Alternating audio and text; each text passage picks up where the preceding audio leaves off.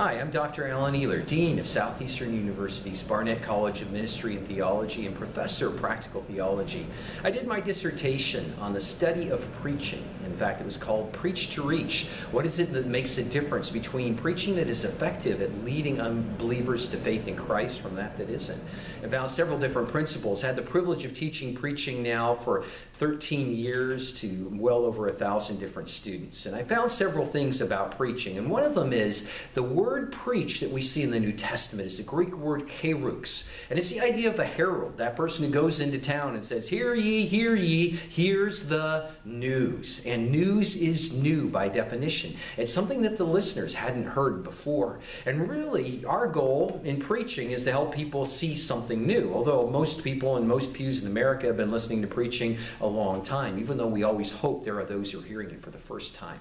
But if you want to take a look at what I really believe the goal of preaching is in any case, it is to take that unchanging, authoritative Word of God we find in Scripture, but communicate it in a way that is, first of all, understandable, second of all, memorable, thirdly, actionable, and fourthly, motivating to listeners in today's world because they're living in an ever changing world and the reality they're in is always going to be changing. That's why we can't simply replay sermons from 100 years ago or even 10 years ago or even last year because the situations we face are constantly changing. And so this is what we call the process of contextualization. And of course, that process starts by understanding Scripture.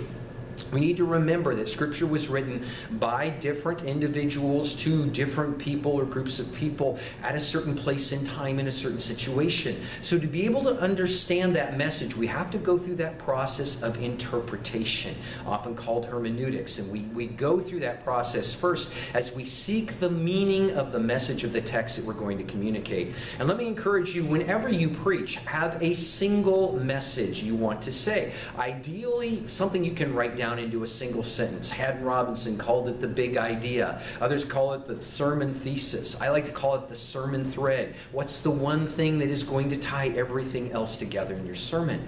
That means you don't share everything you find or discover in your own study about a biblical text. You only study those things that are going to help your people, again, remember what it is that they've heard. Now, we need to be sure it's true to the text. So once you've done your study, you find that principle that transcends, that was both true to the original listeners, but also to be true to your listeners today. And then find a way to communicate it that meets those four criteria that I mentioned. One is it's understandable. Use words they're going to understand, ideas that they can relate to. You may need to do some explanation of the biblical background or setting, but do it in a way that's going to be understood by them. Sometimes using metaphors and images can help people get things that they wouldn't be able to understand otherwise.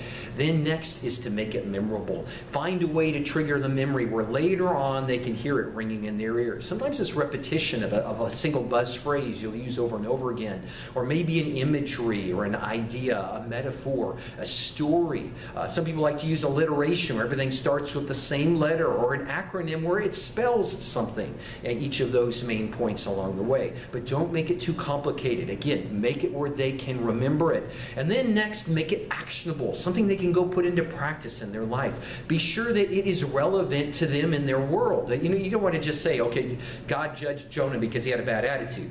So what? What do I care about that? Jonah lived 3,000 years ago. That's not my world today. How about God has words for people with attitude issues? Ooh, okay, that applies to me sometimes. I do have attitude issues. Okay, what can I learn from how God dealt with Jonah and how Jonah responded? Now I see the relevance. So make sure it's relevant to your listeners, but they also know what to do. You can do that from the old standard uh, gospel altar call, have them come to the front of the church, raise their hands, look at you, or even think it to themselves, but give them a chance. Maybe give them some examples of others who put it into practice. Which leads to that fourth thing make it motivating. And sometimes stories of people who've experienced a life change of Jesus can help motivate people to respond to your message, to your invitation, but also be motivated to go out and live out the principle, whatever it is, wherever they go later in their life. So, at any rate, along the way, stay true to the text itself, but be sure it's relevant for your listeners and communicate it in a way that's going to motivate them to live the changed life, to respond to the message of Jesus. They'll be understandable and, and memorable and relevant to their situation wherever they are, that they can live the changed life that Jesus wants them to have. God bless you in your preaching.